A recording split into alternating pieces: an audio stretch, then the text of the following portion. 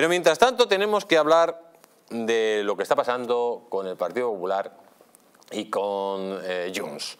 Atención, este vídeo que vamos a escuchar a José Rius, que comparece para aclarar los contactos con el Partido Popular. Vamos a escucharlo. Miri, el que havíem de dir sobre les trobades amb el Partit Popular ja ho hem dit i si hem d'afegir alguna qüestió més, doncs ja l'afegirem.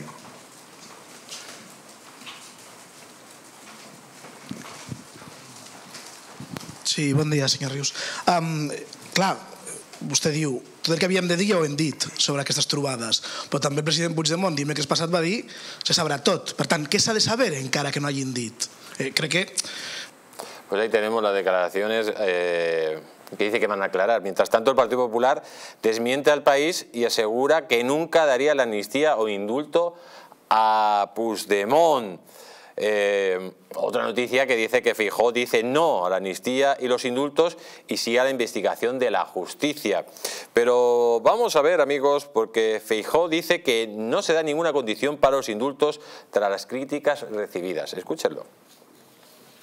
El líder de los populares, Alberto Núñez Feijo, ha acusado al gobierno central de querer embarrar la campaña y ha aseverado que no se da ninguna condición para los indultos a los líderes del procés catalán. Una reacción que se produce después de que varios medios se hicieran eco de que el Partido Popular estaría abierto a un indulto a Puigdemont, así como a que renuncie al referéndum y la vía unilateral. Dije y digo que no a cualquier tipo de indulto porque no se da ni una sola de las condiciones para ningún posible indulto. Digo, ningún posible indulto, ni una sola de las condiciones se da. Sobre esto, críticas tanto a izquierdas como a derechas. Desde Vox tildan de estafa política la postura de Feijó. Que el Partido Popular entra en el marco político de Sánchez y ofrece impunidad a los golpistas, a los partidos que han querido destruir la unidad nacional, que destruyeron la convivencia en Cataluña, que empobrecieron a una región. Los comuns critican su hipocresía. Veiem com Feijó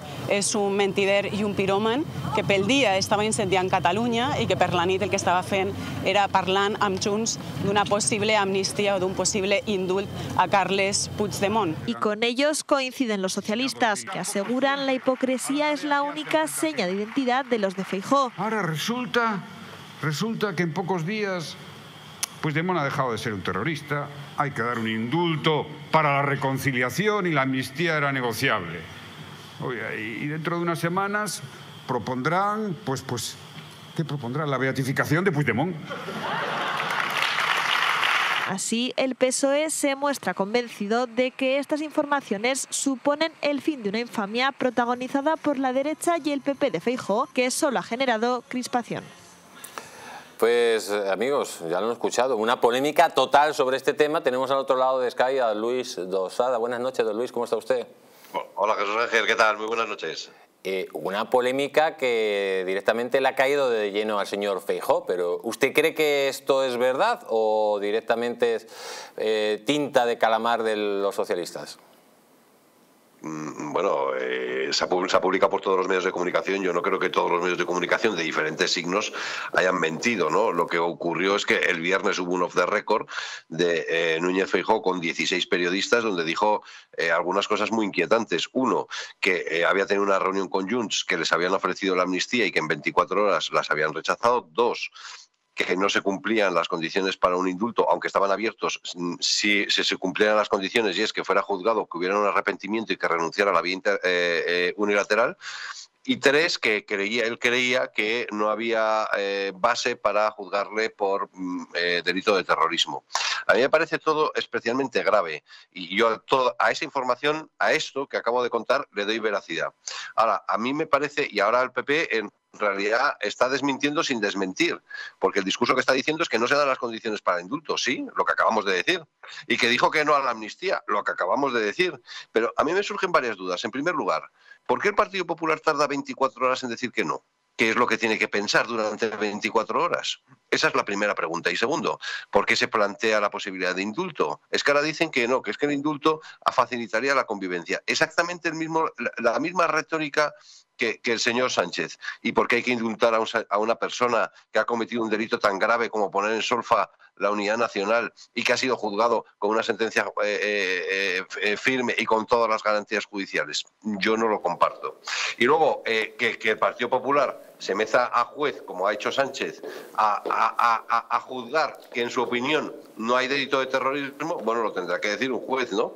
Y por cierto, a lo mejor si el Partido Popular se hubiera personado en la causa, a lo mejor sí que tenía información para resolver que sí, que efectivamente había terrorismo. Eh, para mí, la, la, gran incógnita, en mi opinión, es por qué, por qué este, este torpedo. Porque el torpedo lo está, lo está explotando el Partido Socialista, por supuesto. El Partido Socialista se encontró con ese chollo encima de la mesa, pero ¿quién lo ha explotado? El propio Feijón es off the record. Entonces, ¿qué pasa? ¿Que Feijón no sabe que los off the record en realidad no existen? Pues una torpeza política gravísima. Está intentando eh, hacer una voladura controlada para evitar la posible filtración de Junts. Mm, también me parece una estrategia muy mala, porque yo creo que Puigdemont tiene una credibilidad bastante baja, ¿no? O sea que no, no, termino de entender a cuento de que Feijó ha decidido suicidarse a seis días de las elecciones gallegas. Mm. Claro, lo ha dicho usted. Eh, ahora mismo ese mensaje es brutal directamente para Fijó y los suyos. Pero ¿quién le puede estar aconsejando a Fijó que diga estas cosas? ¿Quién puede ser la mano que mece la cuna, en su opinión? No lo sé, yo creo que yo, yo, creo que hay quien está soltando varias tesis, ¿no? Una es que creía que el off the record iba a respetarse, yo creo que esa es una torpeza tan grande que no es imposible. Otra que, es, que era una voladura controlada y una tercera que está aceitando la relación con Junts porque cree que tendría posibilidad de hacer una moción de censura una vez que el Partido Socialista eh, tenga una debacle en Galicia y que Vox no entre en el Parlamento gallego, él se sentirá con fuerza suficiente como para hacer una moción de censura eh, y con el apoyo de Junts. Y que a lo mejor Junts eh, traga con ese, con ese escenario. Ese es el único escenario, me parece posible, porque hay un detalle muy curioso, y es que la semana pasada el Partido Popular en el Senado presentó una ley antiopas, antiocupación, perdón, y eh, esa ley sale adelante con la abstención de Junts y del PNV. Curioso que Junts facilite la tramitación de una ley eh, al Partido Popular. ¿Eso significa que hay una relación? Eso parece. ¿Ese, ese, ¿Ese indicio de relación podría ir a mayores? Quizás. ¿El Partido Popular tiene esa esperanza? Es posible. ¿Vox va a facilitar que eso ocurra? Creo que no. O sea que mm, me parece que volvemos a hacer un círculo cuadrado especialmente complicado. Y sobre todo, ¿Esto tiene alguna posibilidad de explicárselo a la ciudadanía y al electorado a seis días de las elecciones? En mi opinión, no. El Partido Popular está totalmente eh, dando vueltas sobre lo mismo y me parece que va a seguir dando vueltas sobre lo mismo, porque aquí sí, el Partido Socialista es experto en retórica. Ha visto que hay chicha y va a seguir mordiendo hasta que reviente. Pues don Luis Losada, como siempre, un placer tenerle aquí en el Mundo del Rojo y reciba un gran abrazo. Un placer mío.